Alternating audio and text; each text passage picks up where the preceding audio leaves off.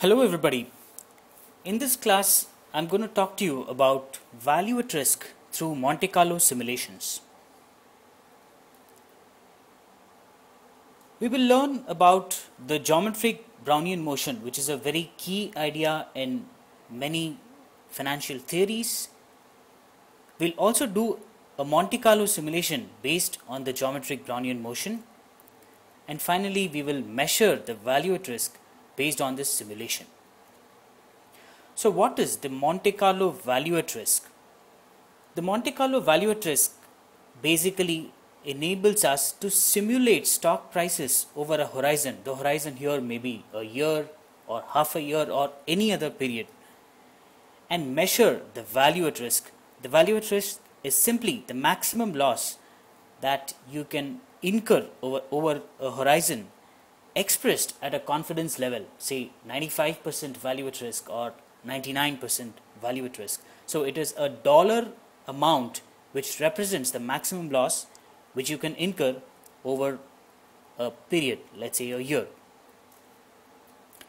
So using the Monte Carlo method, if you could simulate a hundred prices and arrange them in ascending order, the value at risk would be nothing but the current price minus the fifth price and so the current price minus the fifth price when prices are arranged in ascending order will be our measure of value at risk. So if this were the distribution of stock prices and if the red line is the current stock price and if this is the fifth percentile stock price then the difference between them will be the value at risk. So just again to recap the 95% value at risk is simply the current stock price minus the fifth percentile stock price. Now to go ahead and do the Monte Carlo simulation we need to get a little bit of background about the Ito process for stock prices. The Ito process is also incidentally known as the geometric Brownian motion. So what is the geometric Brownian motion? In continuous time the process is given by this equation. Ds by s is equal to mu dt plus sigma dz. Or in other words we can take the s on the left side up to the right side and write it as ds is equal to mu s dt plus sigma s dz. Where dz is equal to epsilon into root of delta t so what is ds by s? ds by s is nothing but the, the stock return because it's simply nothing but the change in the stock price ds by s the stock price. So in other words it is the stock return. And what we are saying is that the stock return is a function of two things mu and sigma where mu is the expected return and sigma is the volatility.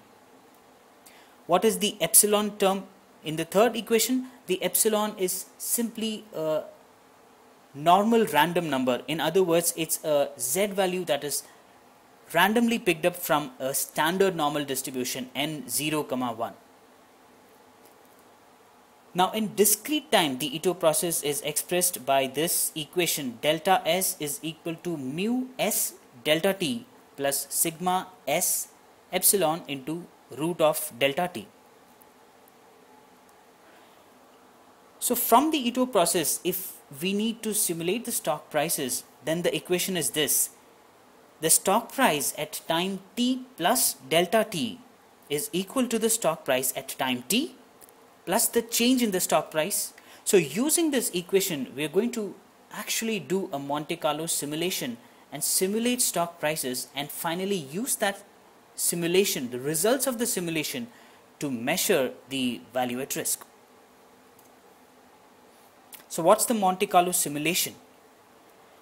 So let's actually do a Monte Carlo simulation assuming that the stock price is currently 50, it has a mean return of 10% and a standard deviation of 20%. Now what this amounts to saying is that after one year the stock return will have a probability distribution of phi 10 comma 20 where phi mu comma sigma is a normal distribution with mean mu and standard deviation sigma. So that is what the Monte Carlo simulation is actually going to involve, we are going to simulate stock returns from this normal distribution and then use that to construct the stock prices and measure the value at risk from the simulated stock prices. So that is what the Monte Carlo simulation is. Simulate values from the above distribution for t steps and n paths. So we're going to divide the whole time into many smaller time steps and we're going to do a number of simulations. We're going to use n paths to do the simulation. So let's actually go to Microsoft Excel and do the simulation. Now here is my spreadsheet and I'm going to show you how to simulate stock prices over let's say the next one year so I'm going to assume T is equal to 1 here and I'm going to break that one year down to 50 steps. I'm going to take 20 paths to do the simulation. I will start with a stock price of 100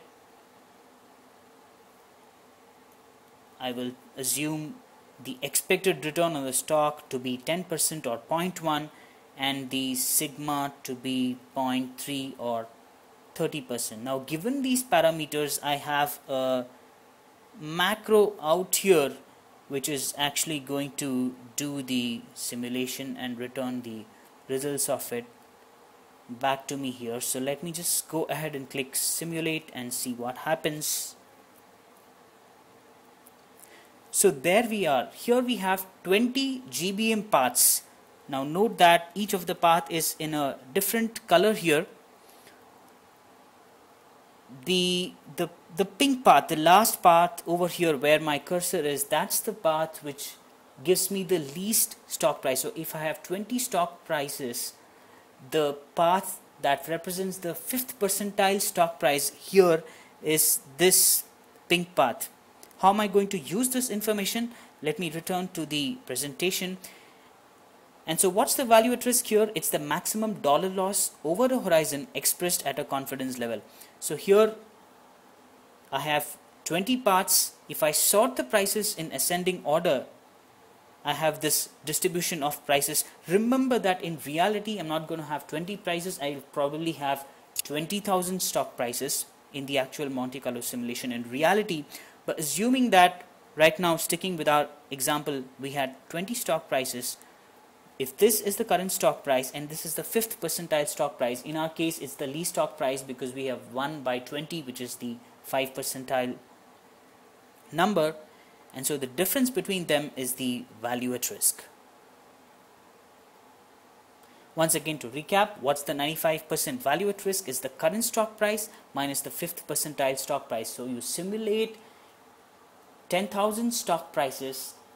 5% of 10,000 is 500 so if you arrange stock prices in ascending order the 500 stock price when subtracted from the current stock price would give us our value at risk measure. That's all in this class. If there are any questions and answers I'd be glad to take them. Thank you for watching